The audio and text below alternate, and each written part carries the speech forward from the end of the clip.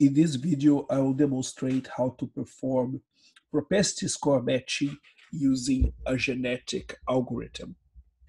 Now, uh, the advantage of using a genetic algorithm for propensity score matching is that it can actually match all the propensity score, but also as as well as the covariates directly. And if there is a situation where it's not possible to estimate the propensity score, um, you can just match on the covariates. Now, this example is part of chapter five of my book, Practical Propensity Score Methods Using R. And um, I am going over an, an, example of estimating the average treatment effect of mothers having a job that provides or subsidizes childcare or the length that they breastfeed their children. So for this example, I already loaded the data sets uh, and ran the genetic matching in advance. And the reason for that is that uh, it's a genetic matching is a complex algorithm, and in my computer it takes about 20 minutes to to run. Now, um, so the code starts with loading the data, and um, you need um, all the covariates um, as well as um, the propensity score and um, a list of names of the variables. And this is already loaded in the R environment here. Um, now, I'm using the matching package, which implements genetic matching. Um, the genetic matching implementation is um, a generalization of the Mahalanobis distance matching. Um, so it will try to match on propensity scoring covariates if you provide covariates, uh, but calculating weights to so it's a weighted Mahalanobis distance. Um, now, um, because I want here to match all the propensity score and the covariates themselves, I'm creating a data set uh, called covariate data where I start here putting the propensity scores in the data sets, but then I add the covariates, but I have to make all of them numeric. So I have some several covariates that are factors, um, and I use the here as numerics as matrix to make them all numeric.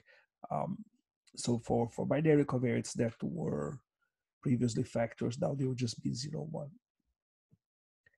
And um, I also, because of the way the matching package was set up, it also requires that the treatment is a logical variable, so it's a true-false variable. So here the treatment is childcare, I am converting it using if else from zero one to true or false. Now, so the genetic matching goes in two steps. Uh, the step that takes the longest is using the function genmatch to calculate the weights based on genetic matching for uh, for each uh, of the variables in the data set.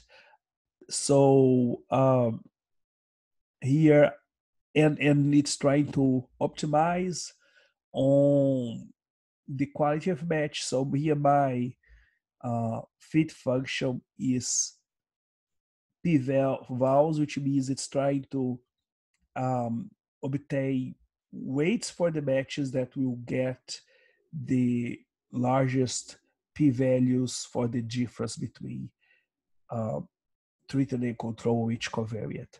Now, you usually don't want to use p-values as a measure of covariate balance, uh, but here since it's for just optimization, uh, it's not for the final evaluation of covariate balance, it's okay.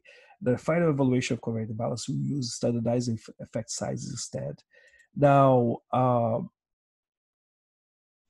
so here I have um, in the GenMatch function, I call by treatment, which child care. Covariate X is the is an argument to provide the data for the covariates, where I have a propensity scores and all the covariates. Population size is an argument for the genetic algorithm. Uh, fit function is what I'm trying to optimize, which is here p-values. So I'm trying to maximize the p-values. Um, so make, in other words, I'm trying to make the difference between treatment and control not statistically significant. Uh, the estimator is ATT, average treatment factor treated, and here I'm doing matching with replacement and allowing ties. So because I allow ties, this is actually not one-to-one matching, this is one-to-many matching. Um, because if there are multiple matches, they're all included. Okay, and and I will have uh, case weights here because since I'm using replacement ties, um, I'll get weights that account for individuals being used more than once as matches. Okay, so once I run the GenMatch to calculate the weights, the matching, the actual match is done with the match function of the matching package. Um, and and match function also gives me calculates the treatment effect for me. So I, I have to provide here the outcome, um, which is the ratio that the child breastfed, uh, the treatment, the covariate data, uh, the matrix of weights, which comes from the previous function GenMatch, estimate, and matches one, uh, so one-to-one matching with replacement allowing ties. Okay. Once that is done, I can uh, obtain the covariate balance with the match balance uh, function provided here as the match out algorithm the previous previous object that I created, GEMmatching, and I provide the propensity score formula just to declare which covariates I'm using.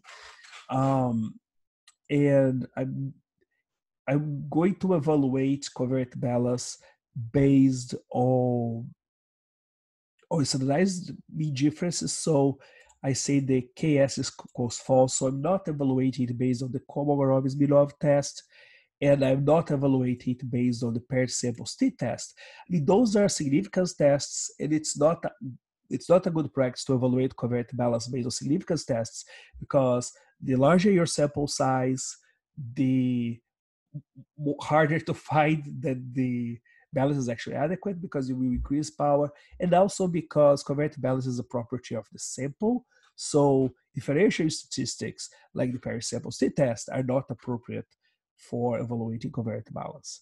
Okay. Now to get the so matching balance will, will print to the screen, but to get the actual uh, standardized differences out, I have to use a list, um, and and I also they provide standardized mean difference multiplied by 100, uh, so a difference of 0.05 standard deviations becomes a a five. So because that's not common we, in papers, I divide it by a hundred. So here in the summary, I'm taking the these the standardized differences from the previous object. Uh, so I will, I will, show you the object. So here, uh, these are all the standardized mean differences. And um, they seem pretty small for each covariate. Um, and I am just running a summary to understand, get a view how large these are. Um, so running. So again, that the maximum standardized difference is uh, 0.16. So the adequacy of this depends on which cutoff I'm using. If I'm using the educational research, we use a lot of the What Works Clearinghouse of the US Department of Education. And for that, the cutoff is either 0.05 with no additional adjustment for covariates or 0.25 with additional adjustment of covariates. So by the 0.25 standard deviations criteria, this here is adequate. So all covariates were less than 0.25. Now another criteria is 0.1 that's used more in medicine. It was suggested by Austin.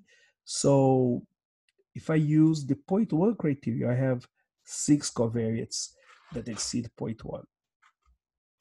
Now, and to get the average treatment effect, they just call a summary of the genetic matching object. And I have here that the average treatment effect was 2.9, p-value is 0.341.